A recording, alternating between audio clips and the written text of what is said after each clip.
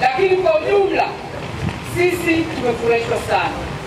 Haya ni mapokezi tu ya surprise tu kidogo, kwamba uje ndio kwamba Wanatanga wamefurahishwa sana na hili ambalo limetokea, na mimi wakina mama wa wajane waliniambia Mheshimiwa Rais wetu Mama Samia Suluhu Hassan ni lazima tufanyie kila tunaloweza, kwa sababu ana historia kubwa na Tanga. Wakanikumbusha kwamba Mheshimiwa Rais alimaliza umakamu mwenye umakamu urais hapa Tanga na akaanza urais hapa Tanga. Nani kama Mama Samia? Kwa hivyo kwa historia hiyo wakati matukio yanatokea na anatangaza swala lile la msiba, haya yote yalitokea akiwa Tanga.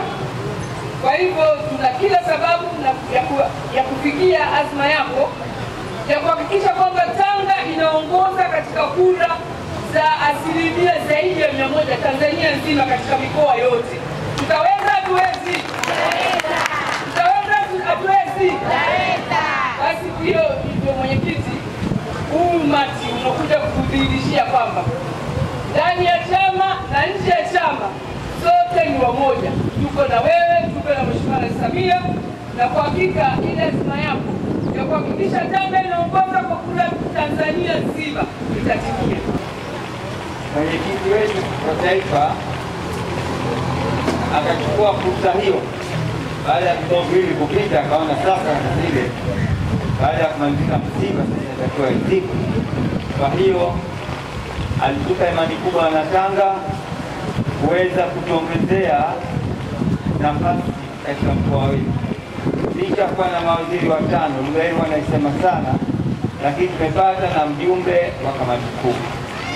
Ni jambo la kumshukuru sana Mwenyezi Mungu, jambo la kumwonyesha Mheshimiwa Rais kuwa ametupa imani Wanatanga, nini tunatakiwa tumlike.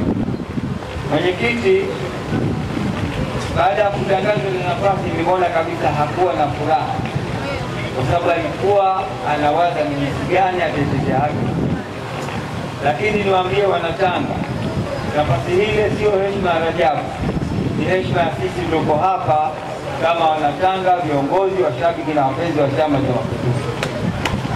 Kwa hiyo Mheshimiwa Rais ambaye ni mwenyekiti wetu wa chama ameonelea nafasi hii iende mahali ambapo panastahiki ili aweze kuitendea haki, na baada ya hapo akapewa ulezi wa mkoa wa Arusha.